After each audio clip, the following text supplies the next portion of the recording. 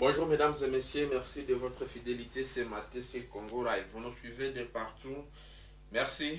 Lundi 27, septembre, 20 27 novembre 2023. Mesdames et messieurs, bonjour. J'espère bonjour et bienvenue. Bonjour à messieurs les journalistes, bonjour à nos téléspectateurs, bonjour à tous ceux-là qui se battent pour que la RDC puisse recouvrer sa souveraineté nationale et internationale. Vous allez bien? Oui, ça va, nous tenons tête haute. Quelles sont les nouvelles ce matin à Goma? À Goma, la situation est relativement calme, sauf euh, hier, la nuit d'hier, où les gens ont failli paniquer à cause euh, de quelques coups de balle que nous avions entendus. Euh, je pense que c'était les petits voleurs qui voulaient troubler la quiétude. Malheureusement pour eux, ils se sont heurtés contre une force de la police. Nous attendons toujours que nous puissions avoir de la lumière sur tout ce qui s'est passé, puisque comme vous le savez, la police, euh, ils sont vraiment déterminés pour que euh, la paix et la sécurité puissent revenir. La- la- la- L'armée hier soir a annoncé avoir déployé les éléments sur terrain. Quand je vois l'armée, je vois du porte-parole de l'armée. À travers lui, il a annoncé que les éléments étaient déjà sur terrain pour s'imprégner de la situation et appelé la population au calme. Exactement. En fait, moi, ce qui m'a rendu euh, très heureux de tout ce qui s'est passé, c'est du fait que euh, la population, aussitôt entendu ce coup de balle, tout le monde, nous étions, nous nous sommes réveillés, on s'écrivait même des messages avec euh, les personnes se trouvant dans les 18 quartiers pour savoir qu'est-ce qui se passe. Ça m'a rendu très heureux cette détermination, c'est que ça montre vraiment quel est le degré de la participation de la population quand il s'agit euh, de la sécurité qui est menacée. Moi, hier, juste le tout premier coup de balle, quelqu'un qui était à Madjengo m'a écrit, j'ai écrit aussi à quelqu'un qui était dans un autre quartier, et cette communication montre que même si l'ennemi a osé s'aventurer d'entrer dans cette ville, il ne peut pas y sortir vivant. Et on remercie aussi la police pour leur souplesse et l'armée, bien sûr, pour leur souplesse, puisqu'ils se sont déployés dans l'urgence et je pense qu'ils auraient mis euh, la main sur ces petites personnes qui voulaient troubler la quiétude de la population. Alors, on parle d'actualité. euh, on parle d'abord, il y a l'ERC en tout cas qui annonce avoir pris acte euh, de la décision de Kinshasa de ne pas vouloir renouveler les mandats de la force régionale de l'ERC présente sur le sol congolais. Comment vous analysez cela? Alors pour nous, je félicite d'abord la population congolaise. Vous êtes tous sans ignorer comment est-ce que nous nous, nous nous étions déployés dans les rues de Goma pour exiger le départ de ces gens. Et nous félicitons aussi, puisqu'il faut les reconnaître, euh, la volonté du chef de l'État de vouloir faire retourner ces gens là où ils étaient, ils étaient venus. Et aussi, quand même, on comprend que ces gens avaient fini par comprendre notre appel. De leur- de- de- quand on leur disait que vous devez comprendre que la population ne veut plus cohabiter ni vivre avec ces gens. Ces gens doivent rentrer chez eux. Nous attendons voir leur calendrier, comment est-ce qu'ils vont, ils vont se, se retirer sur notre sol, puisque nous autres, nous sommes en train de compter euh, leurs jours euh, au bout des doigts. Et aujourd'hui, quand même, euh, je crois c'est le... euh, c'est le 27, c'est qu'il ne, ne leur reste que quelques 10 jours sur le sol congolais. Entre 10 jours ou bien 11 jours sur le sol congolais. Pour nous, c'est une victoire. Et de la même manière qu'on a gagné pour l'EAC, de la même manière que nous sommes en train de gagner pour, contre la MONUSCO. Nous, nous autres, nous voulons voir être sécurisés par nos fils, par nos frères, pas ces étrangers qui facilitent euh, l'ennemi. Vous savez, si la guerre ne se trouve pas au Congo, la MONUSCO, euh, l'EAC, ils n'ont pas à dire. Et comme euh, ils vont partir, je pense que ça nous revient maintenant de nous, de jouir de notre plénitude de- de- de, il revient maintenant à nous de, de, de jouer notre rôle majeur, puisque l'État congolais a comme rôle majeur, mission majeure, de protéger l'intégrité territoriale, mais aussi protéger les citoyens et leurs biens. Et comme ils vont partir, je pense qu'il revient maintenant à notre armée de bien jouer les rôles. Euh, euh, euh, Est-ce que pensez-vous, parce que vous dites que vous avez besoin d'être sécurisé par vos, vos- fils, vos frères, euh, mais vos frères ne semblent pas avoir la capacité de vous, de vous sécuriser. Voilà même pourquoi les autorités ne cessent de faire appel à d'autres forces étrangères. L'EAC qui semble échouer, puis après le départ de l'EAC, ça sera l'arrivée de, de, de, de- de la SADC. En en fait, aujourd- aujourd'hui, il est difficile de croire que nous n'avons pas la capacité de nous sécuriser. Mais Si on, si on n'avait pas la capacité de nous sécuriser, les petits Rwandais devraient déjà être à Goma, voire par, euh, ailleurs. Mais comme nous avons actuellement cette capacité, nous avions aussi bloqué les avancées et ils sont en train de fuir comme des petits enfants. C'est que nous avons cette capacité sur tous les plans. Notre armée aujourd'hui est modernisée, c'est parmi euh, les premières armées du monde. Aujourd'hui, si on n'est pas première, on est parmi les cinq premières armées du monde. Attention, une armée qui fait la guerre contre la petite France, la petite États-Unis, euh, la, euh, la petite région ici du Rwanda, contre l'Ouganda, c'est que nous sommes en guerre contre la communauté, en euh, la communauté internationale en général, avec l'air complice. Comment ne pas avoir la capacité de sécuriser un pays comme la RDC Aujourd'hui, nous avons tout ce qu'il faut pour que nous puissions assurer nous-mêmes notre propre sécurité. L'arrivée de- des troupes étrangères, c'est éphémère. Ce sont des troupes qui ne peuvent pas persister ou bien perdurer sur les sols congolais. Euh, la SADC, ils ont une mission euh, bien déterminée dans le temps et dans l'espace. C'est qu'ils ne peuvent pas assurer euh, la sécurité de l'intégrité territoriale. Le Congo est grand. Et ces gens, ils ne viennent qu'en appui c'est pas eux qui vont faire tout ce qu'il faut pour que les ennemis puissent quitter le sol congolais. Ils ne viennent qu'en appui. Maintenant, il y a la SADC qui va venir après le départ euh, de l'EAC. C'est momentané, c'est éphémère leur mission. Ils vont. Non, on parle toujours moment- momentané, ça prend toujours du temps. Euh, et- le même discours avec la MONUSCO. Non, aussi. vous savez, euh, la MONUSCO, comme vous le savez, euh, lorsqu'ils avaient foulé leurs pieds au Congo, il y a certains pays dont leurs rêves étaient accomplis. Et ces pays, vraiment, ne rêvaient qu'avoir leurs troupes au Congo. Euh, malheureusement, euh, pour nous, à l'époque, on n'était pas encore éveillés. Nos, nos- grands-pères qui nous avaient précédés, euh, nos grands frères qui nous avaient précédés, ils avaient accepté de cohabiter avec cette force inutile d'occupation euh, étrangère. Mais nous, quand même, notre génération, nous sommes dignettes. Nous avions envoyé les enfants dans l'armée. Nous avions envoyé nos filles, nos sœurs, nos, nos mamans, nos papas dans l'armée. Et ces gens doivent partir afin que nous puissions nous-mêmes sécuriser notre sol. Et aussi, vous savez, ce qui cause que la population s'enflamme contre la MONUSCO, c'est puisque la MONUSCO, ils n'ont pas pu faire leur mission régalienne, et qui était de sécuriser la population, d'imposer la paix. La MONUSCO, plutôt, ils ont tout fait pour que l'insécurité puisse persister chez nous, afin qu'ils puissent avoir à dire. Vous vous rappelez, la, euh, certains agents de la MONUSCO disaient euh, no war, no job, non kunda, no job, voyez-vous. Et c'est pourquoi la population, nous sommes dit, quand même 20 ans euh, et plus, c'est déjà beaucoup. Ils peuvent rentrer. Nous avons aujourd'hui la capacité nous-mêmes de nous sécuriser. Et comme vous le voyez, notre armée monte en puissance du jour au lendemain. Nous avons cette capacité aujourd'hui de s'imposer contre n'importe quelle force. Ça, c'est le même cas pour l'EAC. Nous nous sommes dit, ne travaillent pas, ils doivent rentrer chez eux. Oui, ça a pris du temps, mais il faut comprendre pourquoi ça a pris du temps. Ces gens, ils ont tout fait pour que nous n'ayons pas une armée. Ces gens, ils ont tout fait ah, pour que nos autorités puissent rester dans le sommeil approfondi. Mais ils se sont cette fois-ci réveillés et on a tous compris à l'unanimité quelle est l'inefficacité de cette force. Quoique tout n'est pas noir et tout n'est pas blanc, mais lorsque chez nous en Afrique, lorsque les méfaits pèsent euh, les bienfaits, euh, je vous jure que parfois euh, il faut prendre une décision judicieuse. Les rebelles du M23 ont attaqué encore une fois des prises de position des femmes sur l'accès Kichanga, Sake. Des sources concordantes ont fait état d'une attaque des rebelles M23 sur les positions des, des FARDC hier dimanche sur l'accès Kichanga, Sake dans le territoire de Massissi. Par ailleurs, les affrontements ont été signalés encore ce même dimanche dans la matinée vers Kilolirwe sur la même axe routier, sur les mêmes axes pardon, routier Sake Kichanga. Cependant, difficile de vérifier, si c'est, euh, de vérifier ce qui se passe sur le théâtre des opérations avec des sources officielles à Kilolirwe.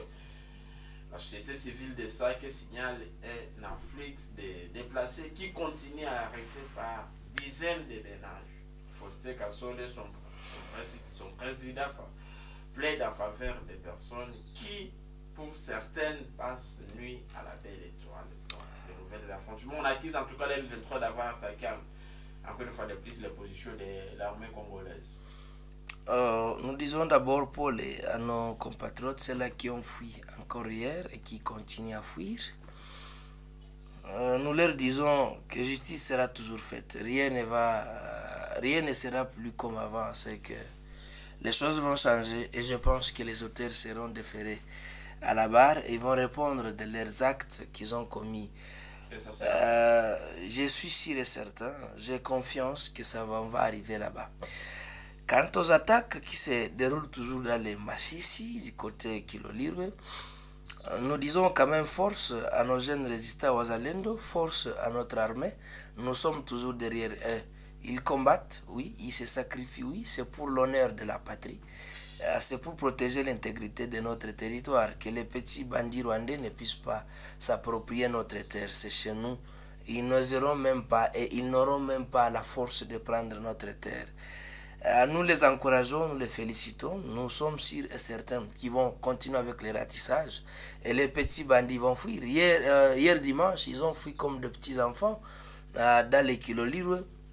Quand vous regardez les images, comment est-ce que ces Rwandais sont en train de fuir, je vous dis, euh, l'armée que la MONUSCO nous faisait plébisciter, qui sont à mesure euh, d'attaquer n'importe euh, qui sont ils sont in- invincibles ils ont été euh, mis en déroute par le- le- nos petits jeunes d'ici vous- mise en déroute comment? Et pourtant on- on- on n'a gagné aucun espace. L'armée Non, on gagné aucun non, espace. non, non, non.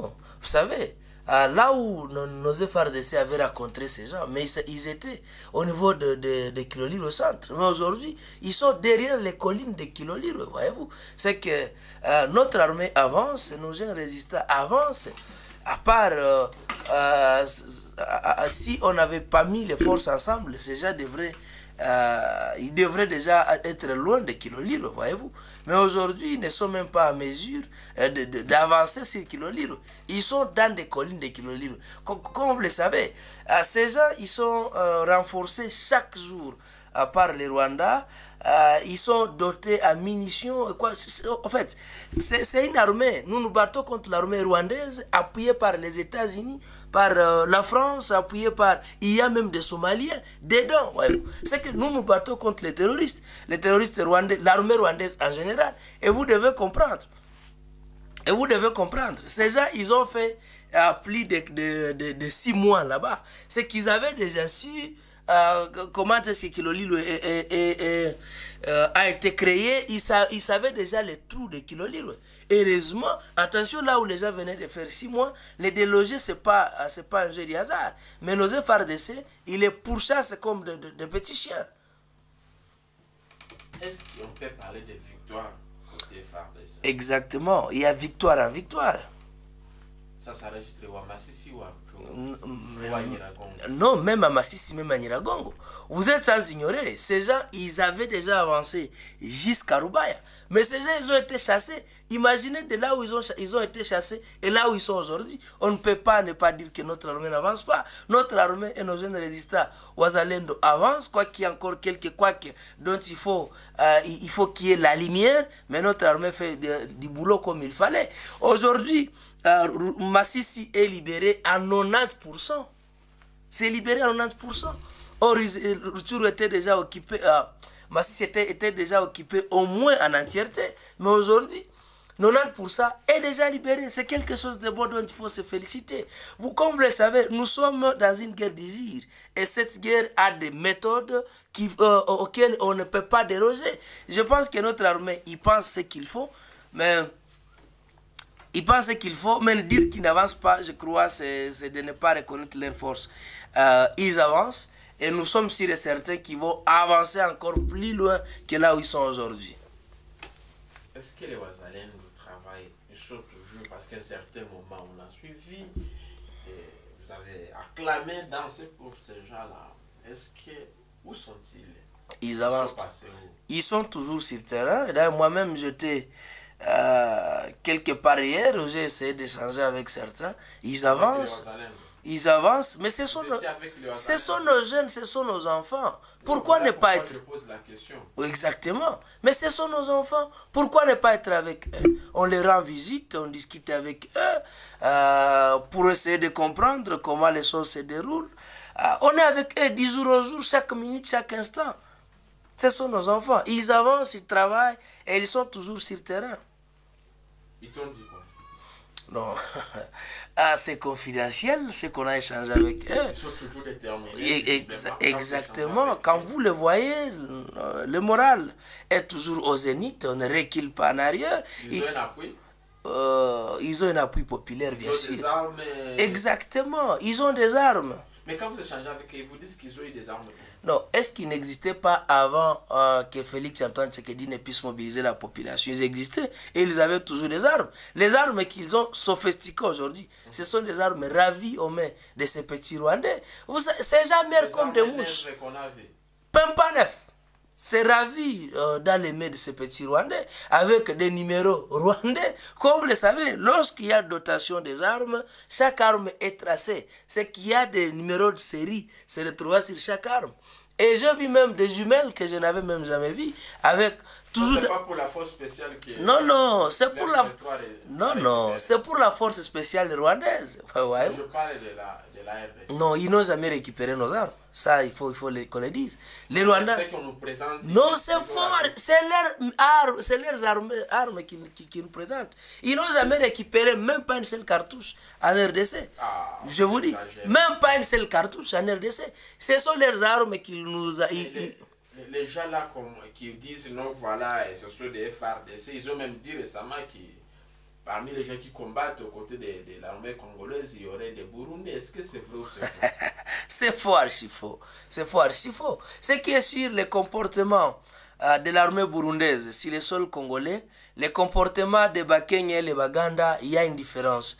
Pour eux, ils n'acceptent pas que les petits Rwandais 23 puissent faire tout ce qu'ils veulent. Et c'est ce qui leur cause des ennuis. Et ils répondent euh, à leur devoir euh, d'une manière digne et honnête. Mais les Ougandais, les Kenyans, ils collaborent avec les 1-23. Et c'est pourquoi vous voyez que les 1-23, ils n'aiment pas les Burundais puisque les Burundais ne leur autorisent pas de faire tout ce qu'ils commettent comme bavure. Si vous pouvez identifier les cas de viol menés par euh, les petits Rwandais euh, et LDF à, à, et les cas de viol menés par eux à, à, dans- dans les Massissi, c'est pas les mêmes. À ils ont exagéré puisqu'ils sont accompagnés par l'EAC et la Monisco. Euh, à, à, Massissi, ils n'osent même pas le faire puisque euh, il y a non seulement qu'il y a une résistance populaire, mais aussi il y a une résistance du côté des Burundais. C'est pourquoi ils n'aiment pas les Burundais. Mais les Burundais ne combattent pas euh, aux côtés des FRDC. Les Burundais n'ont jamais pris les armes pour combattre. Ils, ils sont là, ils observent, ils essaient de barrer route à ces gens. Mais c'est notre armée qui combat. Et pour eux, lorsqu'ils sont en train de voir, euh, ils, euh, ils sont en train de subir des frappes chirurgicales de notre Soko et les ratissages terrestres par nos forces spéciales et par euh, nos jeunes résistants Ouazalendo, et ils font al- al- allusion directement aux forces burundaises. Les forces burundaises. Exactement. Et, et- et c'est là, donc ça n'a rien à voir, dire que voilà, on a déployé des militaires burundais dans la force congolaise. C'est faux, ce sont des montages, ce sont des mensonges. Propagande alors. Exactement. Ce sont des propagandes menées par l'armée numérique rwandaise. Mais Comme vous le savez, ils sont mieux formés euh, pour désinformer la population. Heureusement, ils ne vont même pas y parvenir puisque nous avions compris leur jeu. Ils ont leur auditoire euh, sur lequel ils euh, ils s'adressent, c'est notamment à cette fameuse communauté internationale, ce n'est pas la population congolaise. On a compris leur jeu. On a fini par découvrir leurs cartes. D'accord. Nous tendons vers la fin de cet entretien, la deuxième partie euh, de l'interview. On parle d'élection. Comment Mouinoka, tu vois le déroulement de la campagne électorale? Euh, ça se déroule très bien. Euh, La population écoute euh, tout candidat sans problème, sans inquiétude.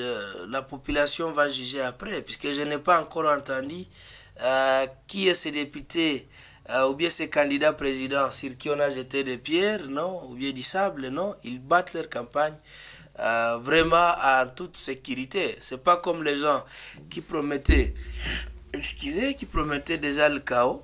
Euh, Puisqu'il y a ceux-là qui disaient non, euh, on va rendre ces pays ingouvernables, euh, nous n'avons pas confiance. J'ai suivi même jusqu'à maintenant un prêtre qui est euh, qui reste dubitatif quant, aux quant à l'organisation des- élections. À-. Mais c'est ridicule. Tout un cardinal. Et c'est l'homme de Dieu. Non.